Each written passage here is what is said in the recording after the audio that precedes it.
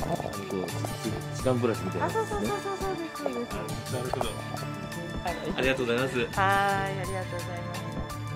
こんにちは。アトリエママです。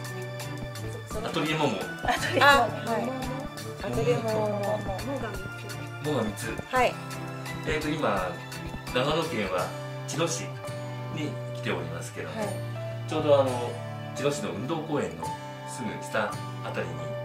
えーあります古民家アトリエモモも3つがもですねはい。に来ております、えーそのスタッフ運営スタッフの皆さんに今来ておりますのでちょっと自己紹介お願いしますではこちらからはい。えっ、と私はえっ、と直子と申します。直子さんはい。えっ、とあの私のもともとの仕事は芸術療法士といって、はいえっと心のケアをするための表現活動をするっていうのを、うん。えっとメインにしてきています。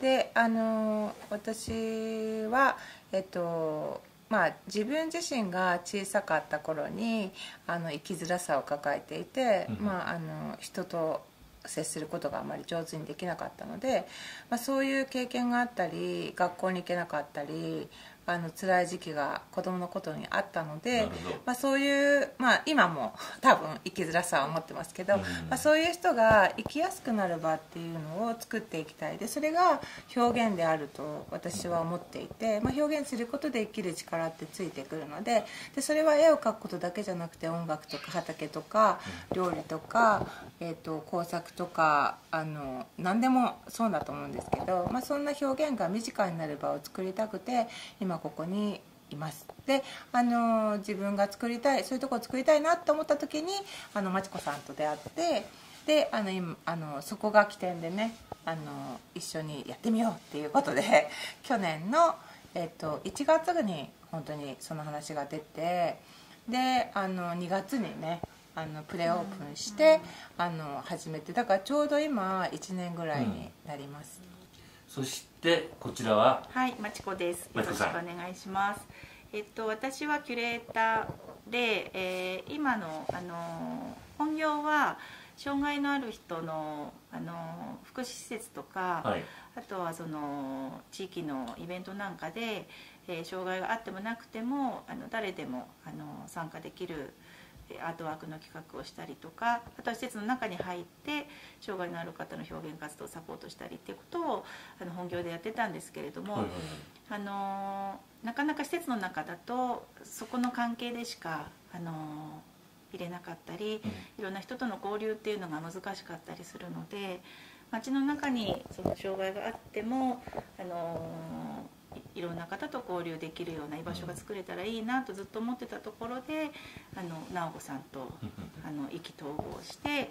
えーじゃあアトリエをやろうかっていうことで立ち上がったんですけれどもあの本当は自分たちだけの場所ではい。毎日開けるようなアトリエを作りたかったんですが、はいあの私たち個人の力ではいきなりねそんな大きいところまで行けなかったので、たまたまここの荒上の古民家っていうもともと私たちが来る前からもともと地域のコミュニティスペースとして場を開いててくださったところがあって、でここには本当にあのー地域のママの方たちが集まって年配のお母さんからお料理を教わるような、はい。まあ本当に個人的な会があったへりーそれからヨガの先生が来て使っていたり中国茶の先生が使っていたりアーティストの方がここで制作したりっていう本当にこういう素敵な場所があってで荒波の古民家ってはい、荒上の古民家っていう場所なんですけどそこのシェアスペースにたまたまご縁をはい。いただいて月に3回ここが借りれることになって、はい、今、えー土日月1日ずつ月に3回、はい。アトリエもももの日っていうことではい。開かせていただいてます、うん。でやり始めた時はあの20人ぐらい集まって本当にごちゃ混ぜであのお年あの年齢高齢の方から小さいお子さんからいろんな方が集まってごちゃごちゃやってたんですけども、はい。始めてすぐに、まあ、コロナになってはい、でどうしようかっていう時に、あのーそのコロナ禍になって中止をしようって思ったんですけどもその時にね最初私も直子さんもその福祉の中にいたもんですから誰でも参加できるような場所を作ろうって思ってやったんですけど実は私の息子がおあの重い障害があって、はいはいあのなかなか外に出れないということもあったんですけど、えコロナ禍になった時に福祉サービスにつながっている人は、なんとか居場所があったんですよね。なるほど。はい、ちあのいろんな制度の中にというあかー。事業所があったり預かってくれるデイサービスがあったり、はい。でもその時にそういうところにもつながっていない本当に行く場所がなくなってしまった方がいるっていうことに気がついてじゃあどんな時でも小さい形でもいいから開けようっていうことで定員を6人に絞って、はい。本当に月に数回開け始めたら、うん。あの1人2人とうん。あの何かものを作れるんだったら来てみたいとかうん。私でも行けるかしらって言って体験に来てくださる方が少しずつ増えてきてで、まあ、1年間を通じて少しずつリピーターも増えてきてっていうところです。どそしてはい。あとお二人方じゃあ自己紹介お願いします。はい、スタッフのエミカです。よろしくお願いします。えみかさん。はい、えみかさんはどうしてこのえー仲間入りをしたんでしょうか？出会いは？そうですね。あの直子さんのあのアートセラピーに、はい。あの通わせていただいていて、はいはい。でそこであのこういう場所を作りたいというお話を伺っていて、はい。でそういう話にあの共鳴したと言いますか賛同してはい関わらせていただいてます。4人目のスタッフ。あはい。千尋です。よろしくお願いします。はい。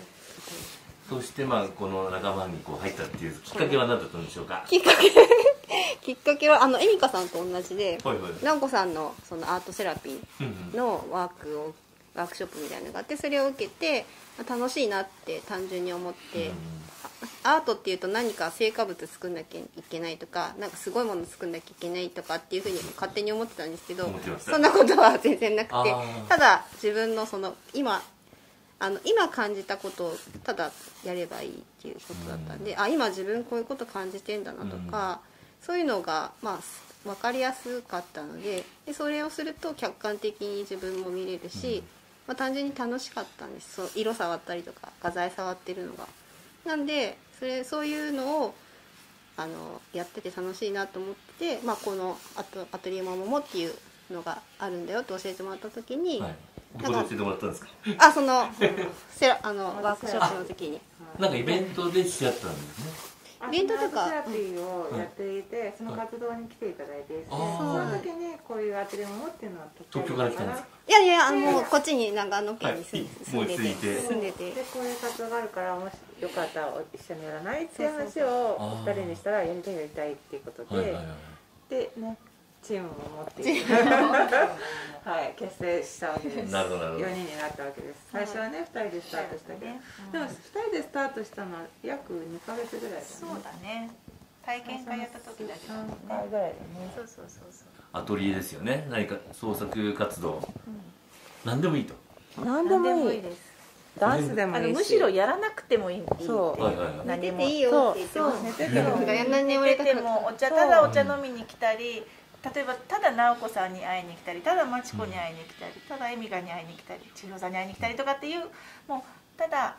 ただ誰かに会いたいっていうのでもいいしもうそういうのも何もなくてもあとりあえず家を出てどっかに行きたかったりでもいいしあー。本当にねあの何でもありなんです。そう。ここに来たからアートしなくちゃいけないっていうのはないんですはいはいだからこうしなきゃいけないはなし、うん。うんうんやりたいことをやれるっていう。ここに来ることが大事なんですかまずは。そうかもしれないね。もうなんかこうい生きていること全てが表現みたいなところがある。本当にと思います。それだって一言で言うことできないできないですね。生きるはアートかな、ああ、ね。うん。でとにかくそそのあなたはそのままでいいんだよっていうことをお互いに感じ認め合ってであ私ってこれでいいんだっていうこともあのか自分にも返ってくるっていう、うん。そういうこう心の動きっていうか、うん。それってやっぱりあの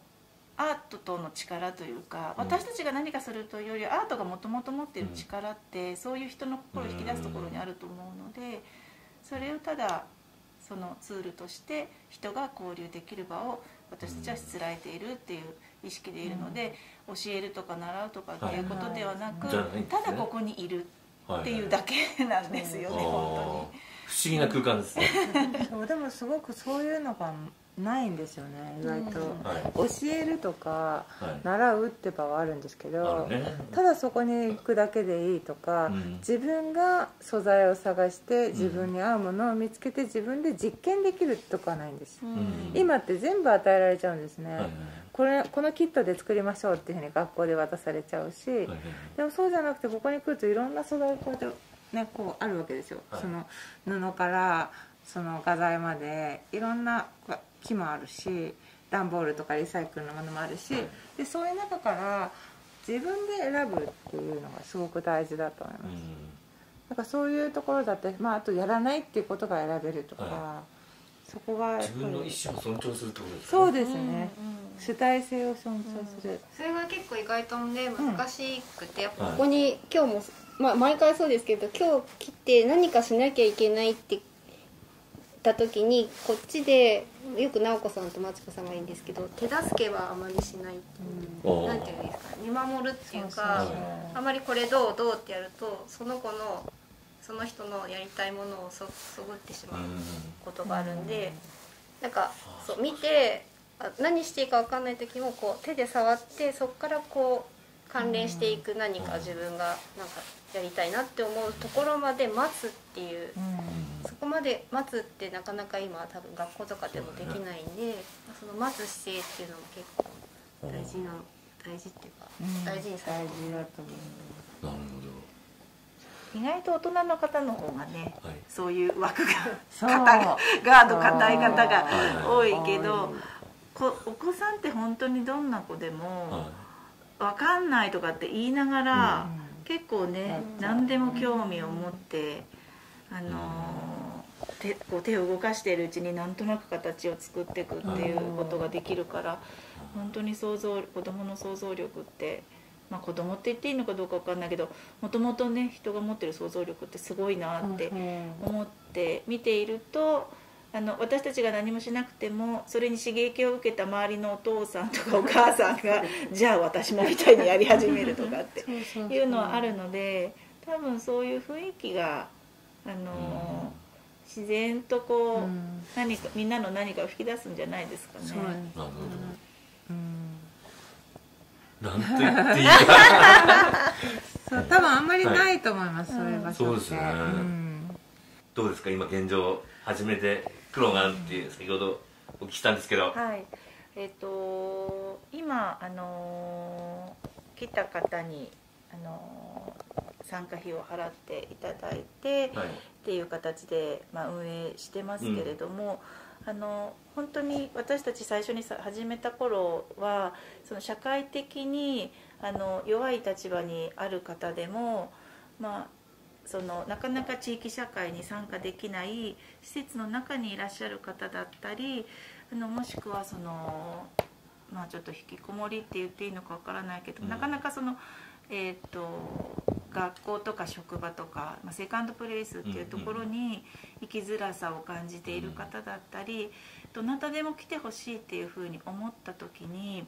やっぱり毎日空け空いていて好きな時に行けるみたいな、うん。その私たちがもっとこう、うん。ね受け皿としていつでも来ていいよっていうふうになれるようにするためには誰か毎日どこかの場所を開いてなきゃできないわけですよね、それが。そうすると私たちもそれが仕事にならないと、うん。そこに入れないってい。うわけでなかなかそういう状態を維持するのって、あの難しい。私たち、今今の現状は他に仕事をしながら、うん。その空いてる時間を使ってというか、まあ、そのために時間を空けて